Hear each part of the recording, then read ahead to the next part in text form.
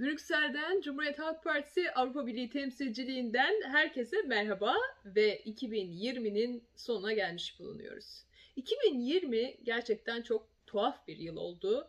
Yaşadık mı, yaşamadık mı e, emin olamadığımız bir yıl oldu. Çünkü çoğumuz için e, evlere kapanarak geçirildi. E, pek çok insan yakınlarını kaybetti. Bu bakımdan e, hepimizi hem duygusal açıdan hem e, maddi açılardan e, çok zorlayan bir yıl oldu. Dilerim 2020'ye perde kapatırken 2021 çok daha iyi bir yıl olsun. Neyse ki 2020'nin sonunda hem aşıyla ilgili önemli müjdeler oldu hem de önümüzü biraz daha görebilir hale geldik. Hepinize 2021'de bol sağlıklı bir yıl diliyorum. Hazır böyle yıl sonu değerlendirmesi yaparken biraz neler oldu? Dünyada neler oluyor?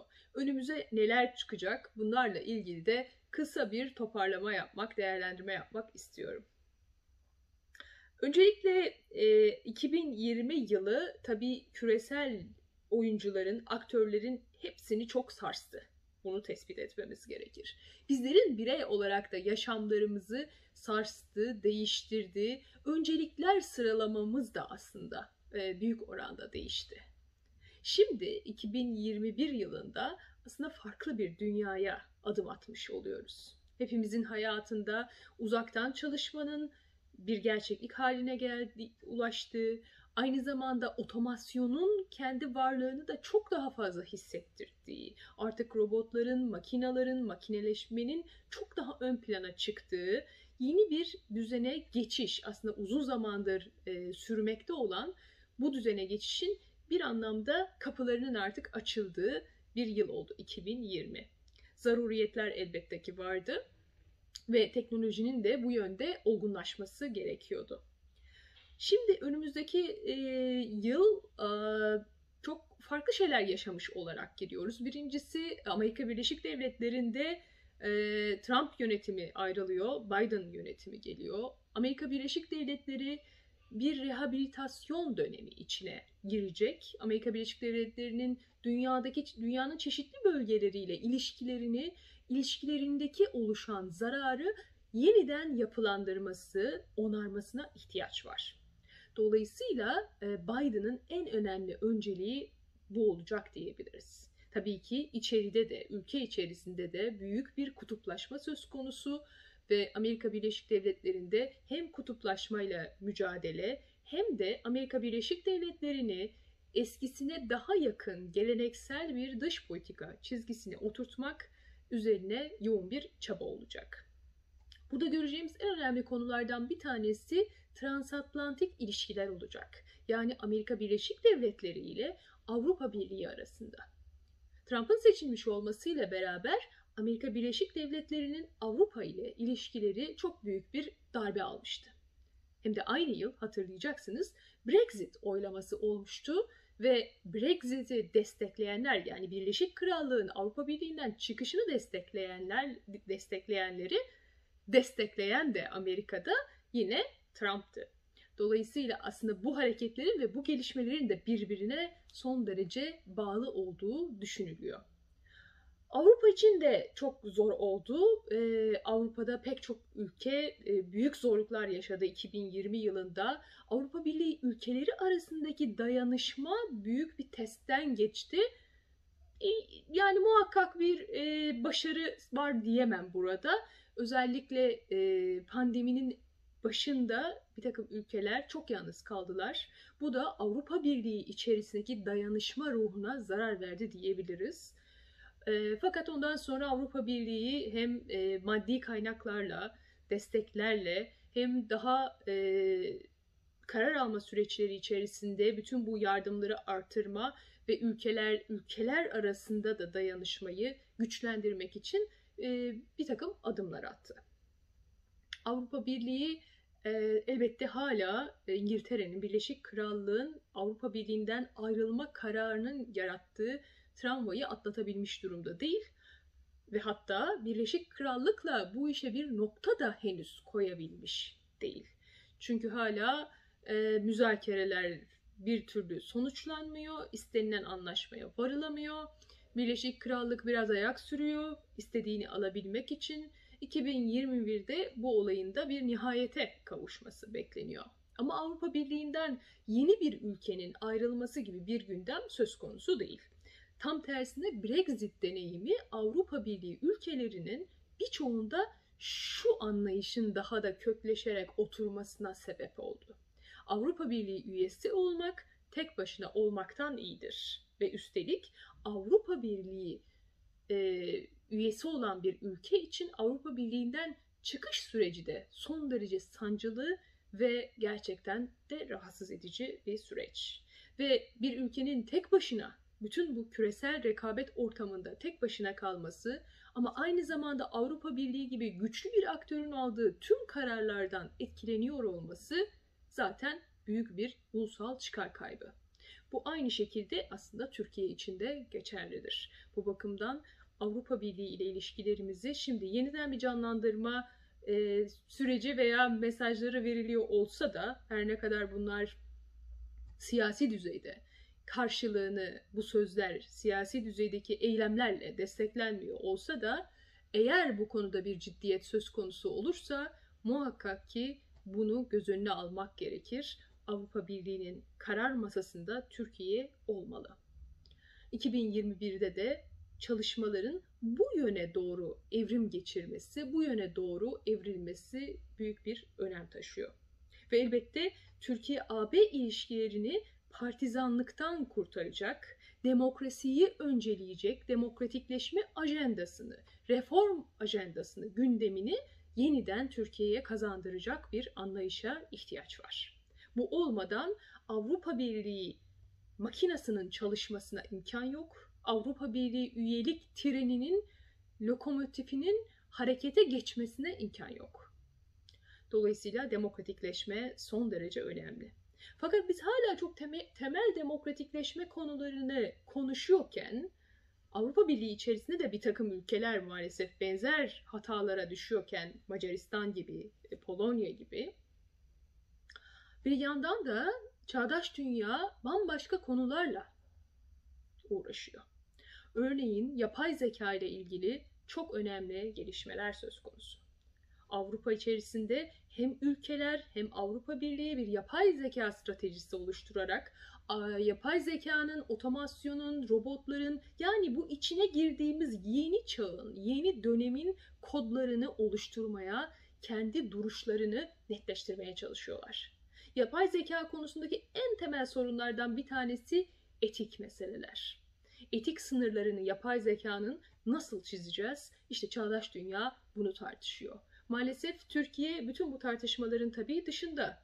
Aynı zamanda siber güvenlik son derece önemli.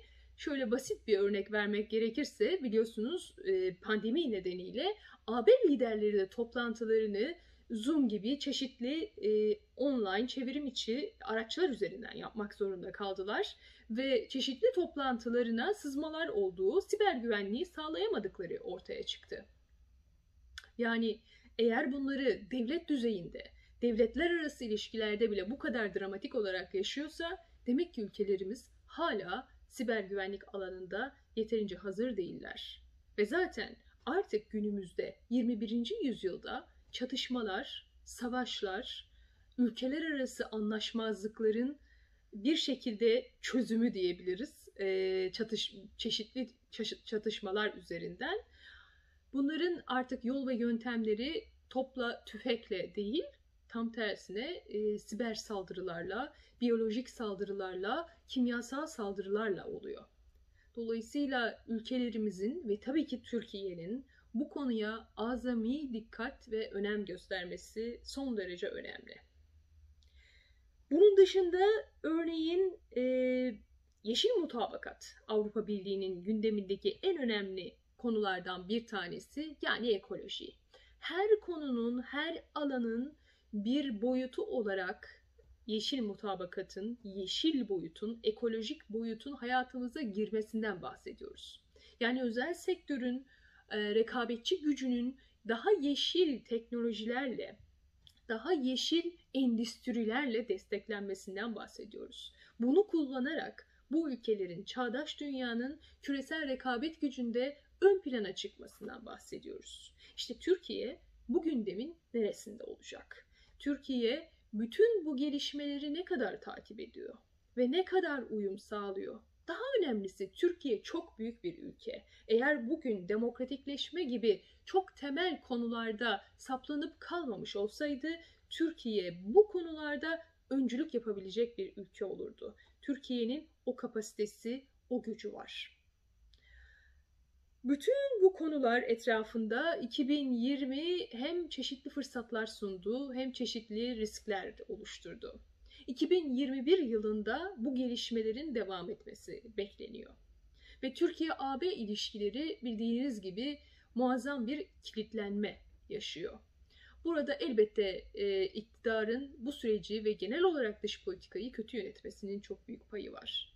Elbette Avrupa Birliği de burada suçsuz değil. Avrupa Birliği'nin de en başta daha Sarkozy döneminde son derece gayri Avrupalı olan tavrıyla Türkiye'nin üyelik müzakerelerini bloke etmiş olması e, Avrupa Birliği açısından çok hayal kırıklığı yaratıcı bir durumdu.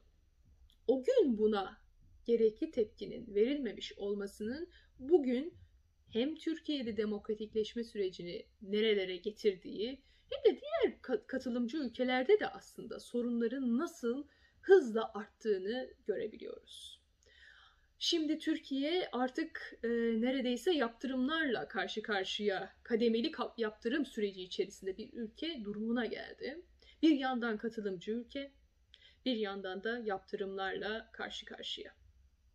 Birkaç konu var. Elbette Doğu Akdeniz konusu son derece önemli. Doğu Akdeniz konusunda meselemizi ve diğer konularda da aslında meselemizi, davamızı, haklı olduğumuz konuları anlatabilmenin tek yolu burada saygınlık sahibi olmaktır. Bizim iktidarımız o saygınlığa sahip olacak ya da o saygınlığa sahip şekilde burada var olacak ki e, buradaki muhatapları tarafından güven duyulsun, inanılsın ve çözümün de bir parçası haline gelinebilsin. Maalesef e, bu konuda e, büyük eksiklikler olduğunu söylemek gerekir. Ve siyasilerin genellikle açmış olduğu yaralar, siyasilerin vermiş olduğu kötü mesajlar elbette e, diplomatların, e, Türk dışişlerinin omuzlarına kalmakta. Bizlerin de omuzlarına kalmakta.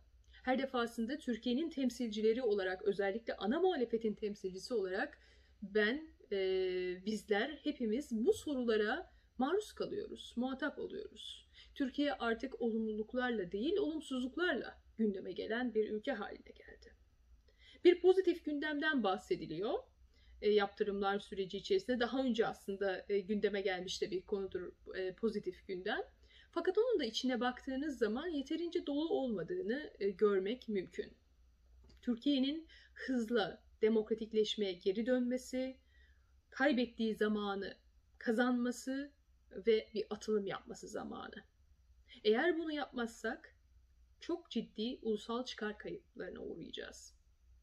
Türkiye hem Doğu Akdeniz'deki haklarını, e, buradaki haklılığını NATO zemininde e, daha fazla ileri, ileriye taşımalı, NATO zeminini daha iyi kullanmalı ama aynı zamanda da Avrupa Birliği içerisinde ilişkilerini medeni, çağdaş bir ülkenin, Avrupalı bir ülkenin, Avrupalı bir Türkiye'nin ilişkilerinin kodlarına yeniden geri getirmeli.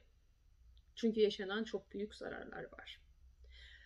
Bunun dışında elbette 2021'de hemen çözülecek bir konu değil ama öncelikli konulardan biri bizim de her zaman gündemimizdeki en önemli konulardan biri vize serbestisi konusu. Bu da yine iktidarın aslında büyük hatalarından kaynaklı büyük bir e, kayıptır.